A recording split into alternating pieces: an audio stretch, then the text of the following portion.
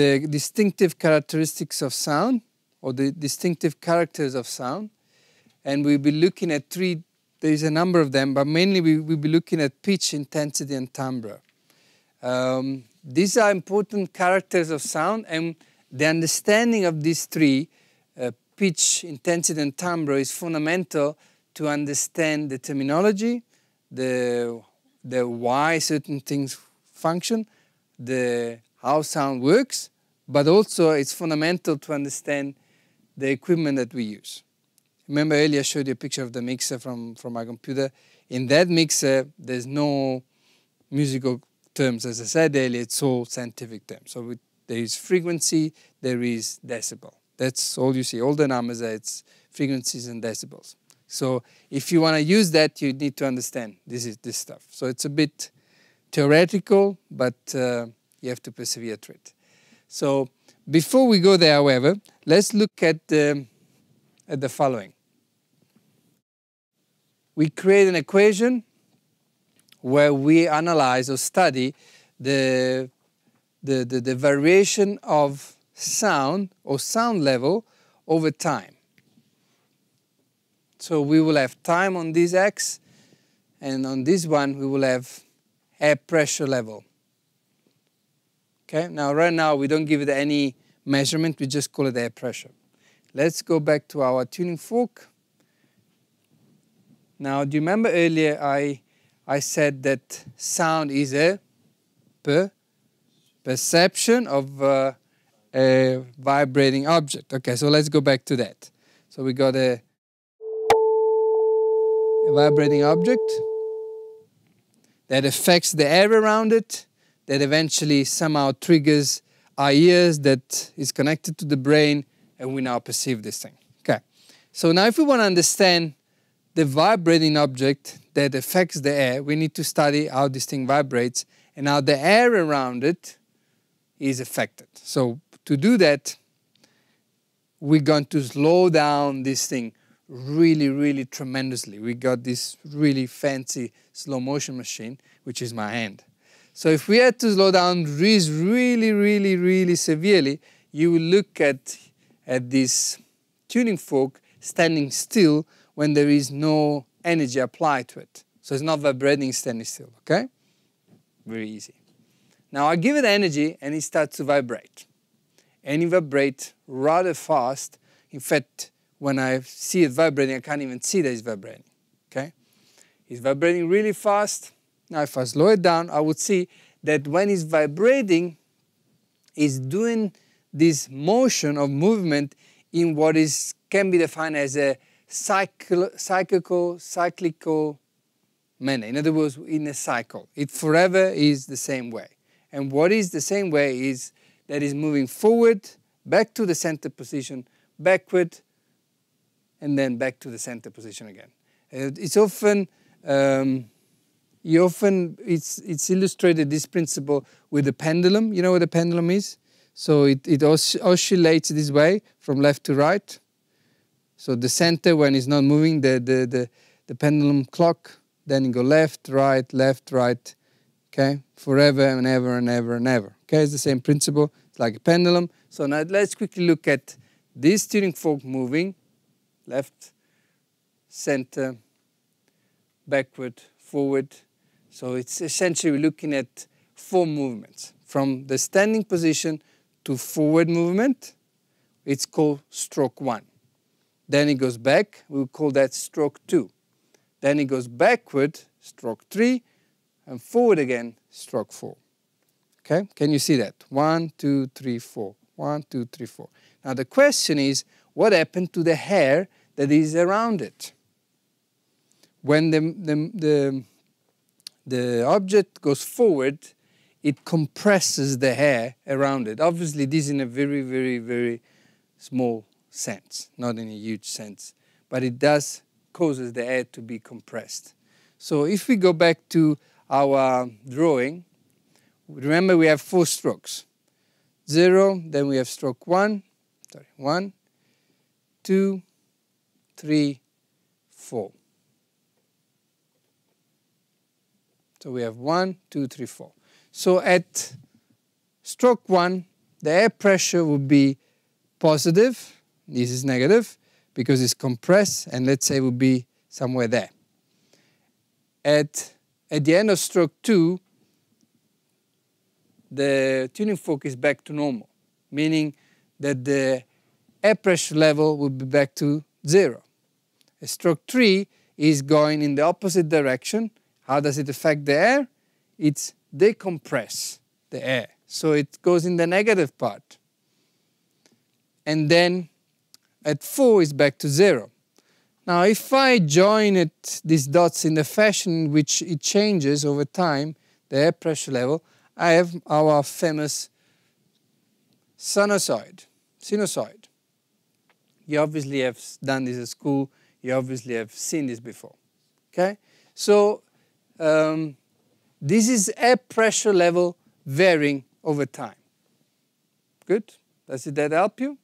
So in other words, if you ever seen this, what, is it, what does it represent? It represents how does the air pressure level change over time as this thing vibrates. Okay, good. Now here, before we look into pitch, timbre, and intensity, I just would like to um, highlight some terminology so that later on we have this knowledge when we need it. Okay, so let's first look at the distance between the peak in the positive side and the bottom peak, which is this one. We will call this amplitude, which is the sum of air pressure in the negative and positive sense, but in absolute terms, not in, in, in uh, in algebraic sense in absolute terms. So this would be, let's say if this is 5 and this is 5, the sum is 10. It's not, obviously in an algebraic sense it's 5 and minus 5, so the sum is 0. You got it? Okay, so that's called amplitude. This part here is, is a cycle because it's the time it requires for the cycle to be completed from position zero, which is when the, the tuning fork is still, to moving forward, back to center, backwards, back to center. So this is all cycle. So we call this cycle, and when we look at this picture, we're looking at two possibilities. Either period, which we indicate with t, which is how, how long does it take for a cycle to be completed, that's period, or wavelength, and that is what is the distance that the sound would have covered in that amount of time, wavelength. So every time we look at the cycle of a sound wave, we can look at it from a time perspective or from a distance perspective. If it's time, we call it period. If it's distance, we call it wavelength. Okay? You got it? So when later I'm going to be referring to wavelength, you know what I'm talking about. Good. Okay, let's go this information you need for all, uh, mainly for our discussion on intensity and our discussion of pitch, but you will need it for most of the stuff. That's why I thought to introduce it now before we go and speak about the thing. Now let us look at the three characters of distinctive characters of sound, being pitch, intensity, and timbre. We will look today. I think we're only going to do um, pitch. Okay, what is pitch? Let's quickly read what we have noted here. Now remember earlier I said that uh, sound is made up of two different halves. Per, perception and production. Okay. Now what the, the table that I've done in your notes is done the same way. We have the name of one of the character, um, distinctive characters of sound. In the case would be pitch. Then we look at the perception, how we perceive this thing of pitch. And then we look at production. On which factors is this perception dependent on? You got it. So we're going to look at pitch both from a perception point of view and the production point of view. So let's quickly read pitch the perception side of it is described as the attribute of sound that gives the impression of musical height, enabling us to arrange sounds from low to high. In other words, pitch tells us how to arrange sounds. Pitch is to sounds like uh, distances to uh, like measuring distance. You go from short to long. In the pitch world, we go from low to high. So when every time we listen to a tone or a sound, we can categorize it. Okay? You got it? So what does pitch tells us? On a perception point of view, pitch tells us what is the musical height of a specific sound. Example. Uh, let me play you some tones here. I got a low, a mid, and a high tone. Okay, low. Then we have a mid low mid uh, tone, and then a high one. So what I've done just now, I have played you three different tones. Each one had a different musical height or a different pitch. Okay, you got it? Now, as we, as I was playing them, you should have been able to see them there on the screen. I'm going to, okay, you can see that. Now, the reason why you can see that, and you can even see the my voice being dancing there on the screen, is that because that is a instrument which is called a spectrograph, which analyzes the different frequencies or the different uh, tones engaged in a sound. Now we'll get to that just now, but just, just to introduce you, my friend, the, the spectrograph. Okay, but we'll go to it just now.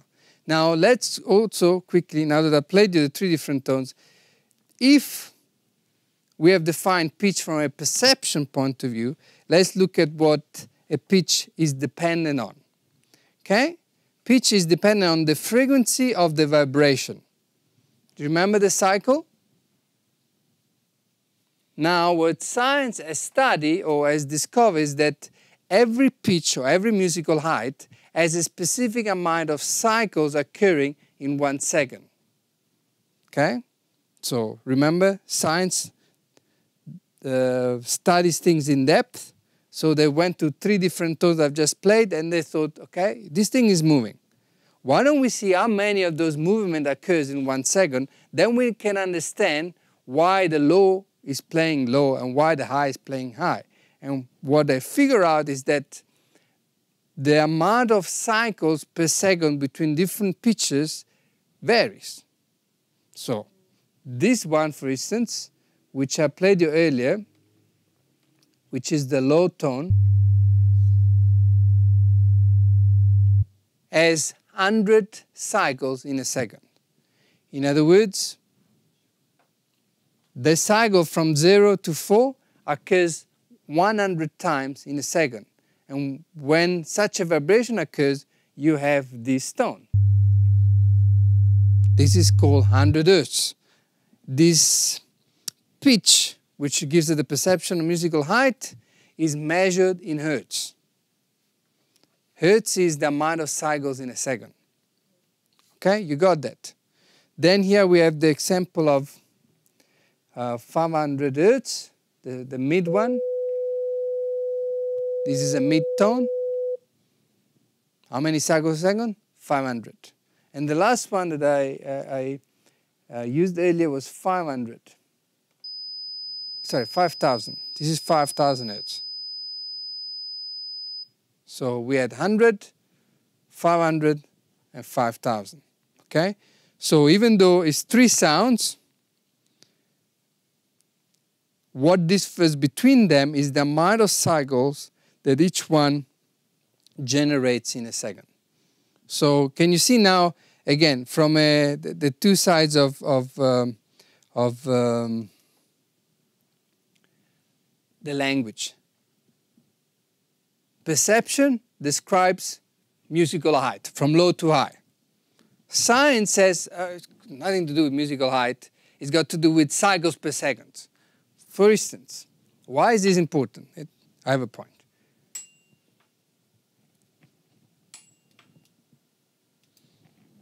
This one is a note that musicians will call A4. It's an A on the fourth octave. While science will call this a 440 hertz. So they are exactly the same, just in two different languages. Okay? You got it? So we got production, 440 hertz. Perception, A4. It's exactly the same thing. How do, so how do we measure uh, pitch? We measure pitch in hertz, which describes the amount of cycles in a second.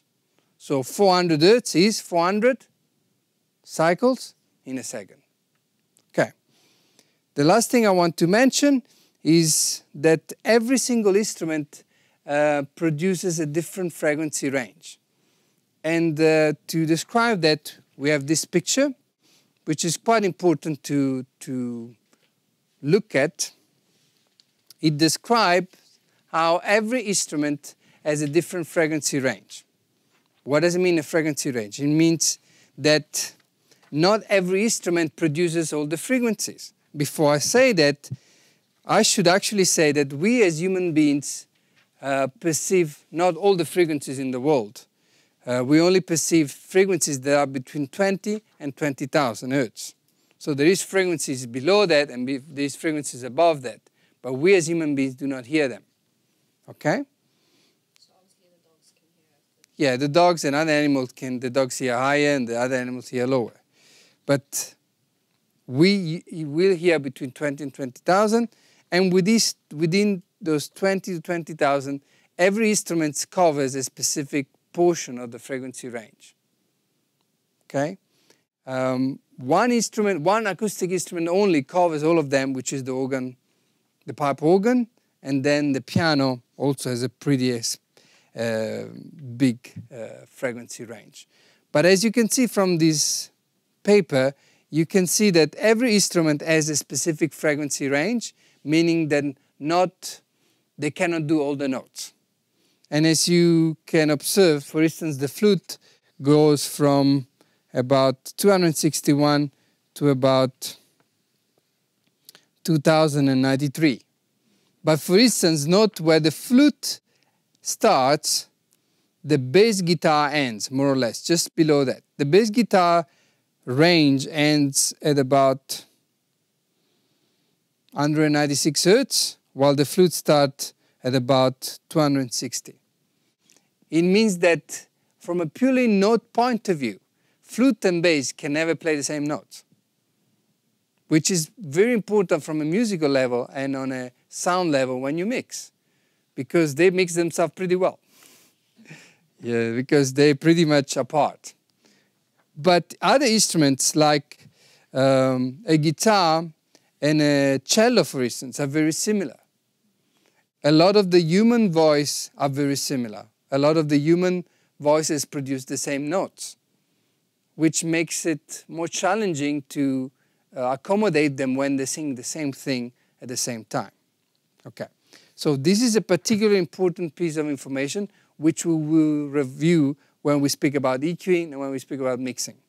What I would like you to just grasp is that different instruments produce different frequencies and therefore they need to be treated in a different way. This is very important. So we just quickly look at the first um, distinctive, distinctive characteristic of sound, which is pitch.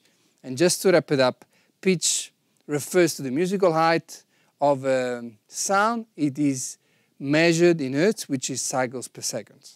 So perception says musical, musical height, production says how many cycles in a second. It's the same thing. It's pitch. It is called the same, it is the same thing, sorry, but it's called two different things. The, the tuning fork is an A4 in music and is 440 hertz in science.